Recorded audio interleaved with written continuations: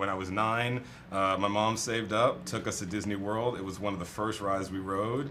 Uh, she was absolutely terrified and put the fear of God in me the entire time we were at Disney World. And I'll never forget, like, coming out of the ride and really, really wondering, is that Hitchhiking Ghost still hanging out with me uh, as I make my way through this theme park. Uh, and as I got older, I, I, slowly started to realize maybe it's all just a trick. But I never forgot like the magic of that question of, of real. Like that's the thing about Disneyland and Disney World is so powerful. Is like it really makes you question reality. It really believably takes you to a fantasy place.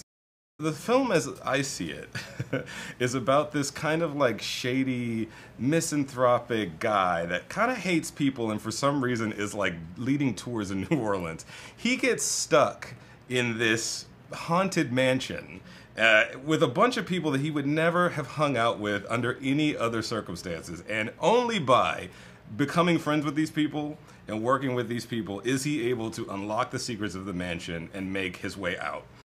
I've completed the script and I have laughed and I have cried and I've woken my husband up and it's it's a problem.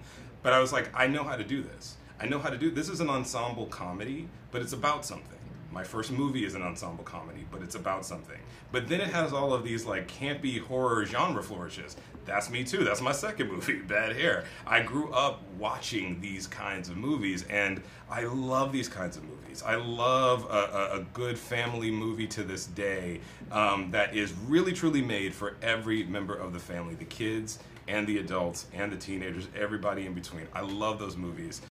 My family is from Louisiana, so I, I, have a familiarity with the culture of New Orleans, which is where the mansion is set, and I felt like that's something I can bring to the table because if you really tell the truth about this place and uh, this wonderful setting and all of the cultures that mix and combine here, I just really felt like you would tell an even more authentic story about the mansion, and, and that's what I pitched, and they said yes.